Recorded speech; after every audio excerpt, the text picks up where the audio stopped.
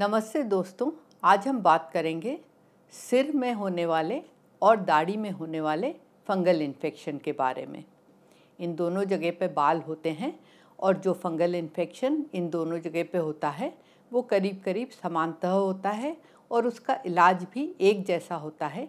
इसीलिए आज हम इस बारे में बात करेंगे। सिर में होने वाले फंगस इन्फेक्शन को टीनिया कैपिटिस कहते हैं और दाढ़ी में होने वाले फंगल इन्फेक्शन को टीनिया बारबी कहते हैं।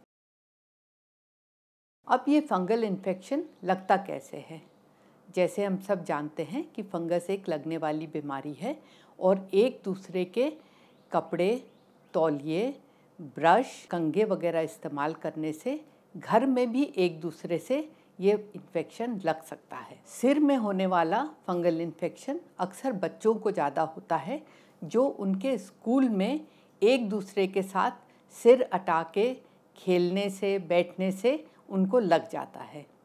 और जो दाढ़ी में होने वाला फंगल इन्फेक्शन होता है, वो अक्सर जवान लड़कों को ज़्यादा होता है। घरों में दाढ़ी का इन्फेक्शन अक्सर एक दूसरे के तकिए और तौलिए इस्तेमाल करने से हो जाता है। एक और चीज़ है, जो लोग काफ़ी लंबी दाढ़ी रख लेते हैं या जिनकी दाढ़ी काफ़ी घनी होती है और वो उसको ठीक तरह से साफ़ सफ़ाई नहीं रखते हैं तो उसमें भी इस तरह का फंगल इन्फेक्शन अक्सर हो जाया करता है। एक जगह जहाँ पे फंगल इन्फेक्शन जो सिर में होता है और दाढ़ी में होता है, अक्सर लोगों को लग जाता है, वो है आपके नाई की दुकान।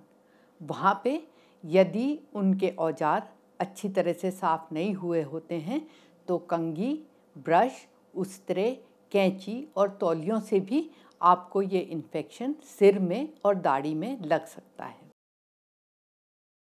गोल आकार में बाल गिर जाते हैं। या तो बाल पूरी तरह से गिर जाते हैं या थोड़े बहुत बाल गिर जाते हैं और कुछ टूट भी जाते हैं। वो जगह लाल हो जाती है, सूख जाती है और उसमें काफ़ी खुजली भी होती है।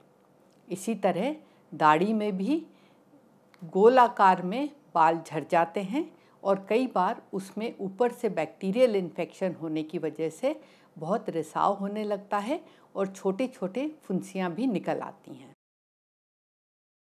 दोस्तों, अब हम बात करेंगे कि सिर में होने वाले और दाढ़ी में होने वाले फंगल इन्फेक्शन का इलाज कैसे किया जाए। इन दोनों इन्फेक्शन का इलाज एक ही तरह से होता है और इसमें आपको सिर्फ़ खाने वाली दवाइयाँ ही पूरा फ़ायदा कर सकती हैं। इसमें आप क्रीम भी इस्तेमाल कर सकते हैं और दो परसेंट कीटोकोनाजोल लोशन भी इस्तेमाल कर सकते हैं, लेकिन इसका इलाज जो पूरा होता है, वो सिर्फ़ खाने की दवाइयों से ही होता है। जो खाने की दवाइयाँ इस फंगल इन्फेक्शन के इलाज में इस्तेमाल होती हैं, उनका नाम है ग्रिसियोफुलविन फ्लूकोनाजोल और टर्बिनाफिन ये दवाइयाँ आपको कम से कम चार से छः हफ़्ते तक ज़रूर लेनी पड़ेंगी। खाने की एंटी फंगल दवाइयों के साथ साथ आपको एंटी फंगल क्रीम भी अपने इन्फेक्शन पे ज़रूर से लगाना चाहिए। कोट्राइमिज़ोल या माइकोनाजोल क्रीम को आप दो बार जहाँ पे आपको इन्फेक्शन है, वहाँ पे ज़रूर से लगाएँ, कम से कम दो से चार हफ़्ते तक। इसके अलावा आप दो परसेंट कीटोकोनाजोल लोशन से भी अपनी दाढ़ी को और अपने सिर को अच्छी तरह से धो सकते हैं।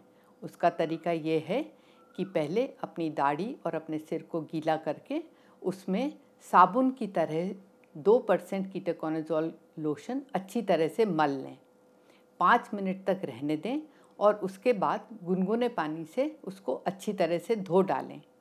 इससे आपके इन्फेक्शन को जल्दी ठीक होने में काफ़ी मदद मिलेगी।